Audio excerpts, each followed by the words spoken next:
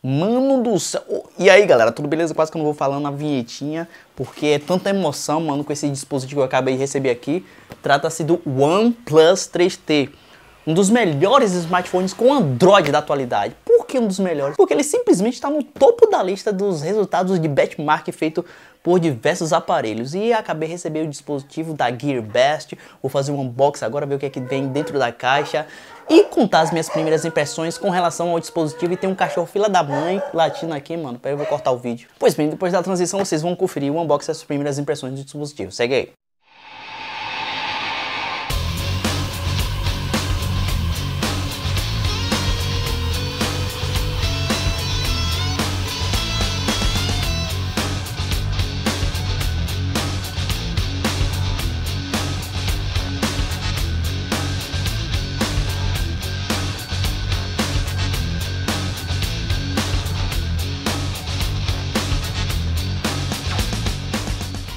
Pois bem, pessoal, agora que eu tirei o dispositivo da caixa, vamos dar as minhas primeiras impressões. Deixa eu logo remover esse particulozinho que vem aqui na parte traseira, que vem com alguns códigos e tudo mais.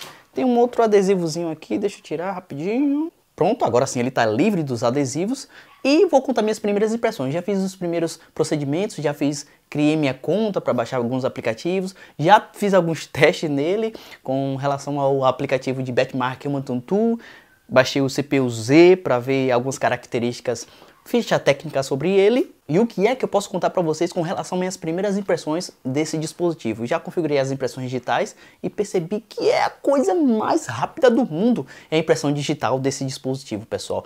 Lembrando que eu recebi ele da GearBest, ele está custando lá cerca de 420 dólares, é um preço temporário que ele pode subir, pode chegar a custar 515 dólares. O link de compra está na descrição do vídeo, caso você esteja interessado.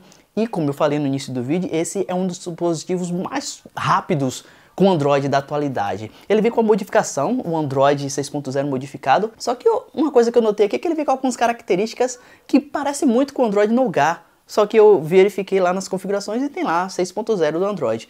É uma interface de usuário modificada pela fabricante chamada de Oxen OS não lembro a versão agora, mas essa versão é baseada no Android 6.0, vai receber atualização baseada no Android 7.0, mas isso quando vai acontecer eu não sei, não sei contar para vocês.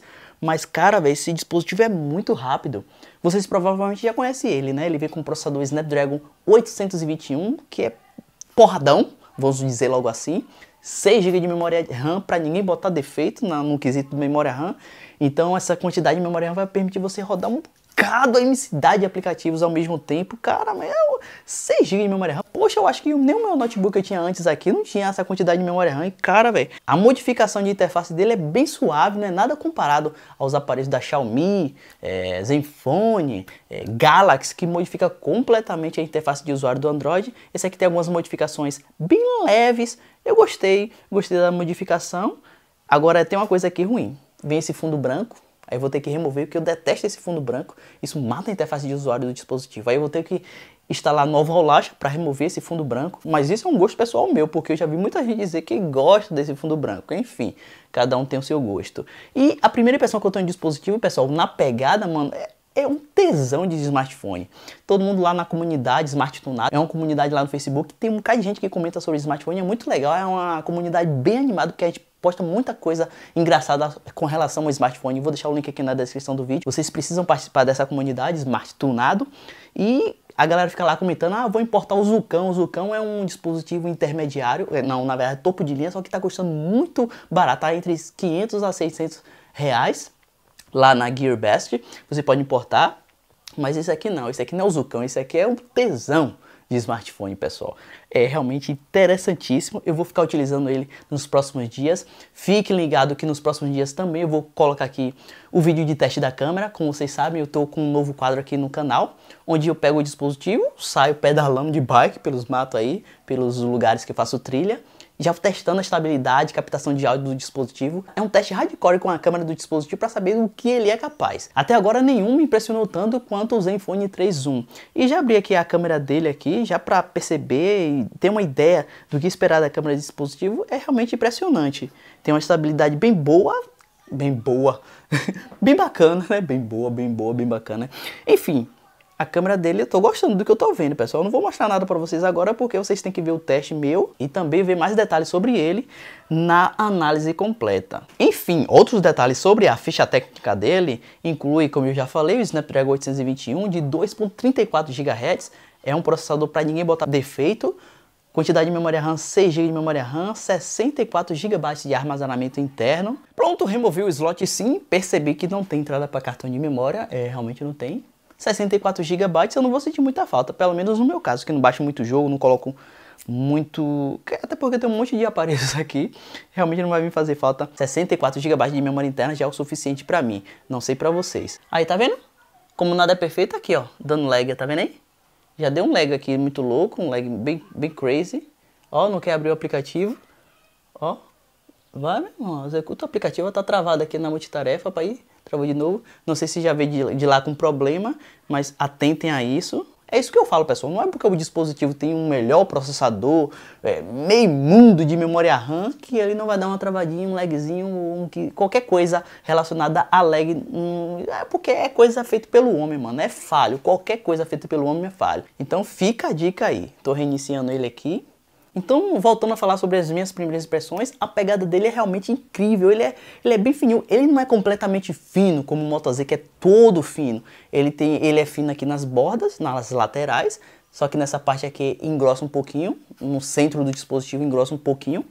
E ele tem uma bateria de cerca de 3.400 mAh, é uma capacidade boa para um dispositivo como esse. Ele também vem com uma tecla aqui lateral para você silenciar o dispositivo, como os iPhones, né? É uma tecla de três status por exemplo, ó, toque, no meio vai para não incomodar e depois vai para silencioso. Ele fica completamente silencioso, não toca nada no dispositivo.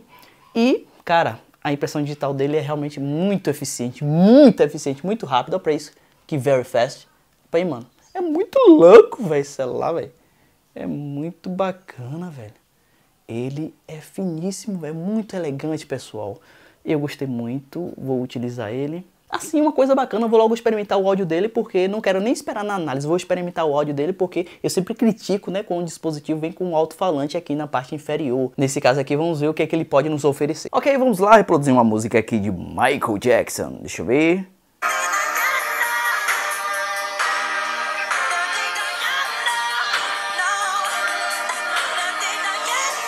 Bacaninha, bacaninha, gostei. Pois bem, pessoal, essas são as minhas primeiras impressões. Amanhã ou nos próximos dias vocês verão aqui no canal um vídeo hardcore de teste da câmera desse dispositivo. Vamos ver do que a câmera desse dispositivo é capaz. E vou colocar ele aqui, ó, segurando, pedalando, balançando para ver se ele tem uma estabilidade bem bacana, equilibrada, vamos dizer assim.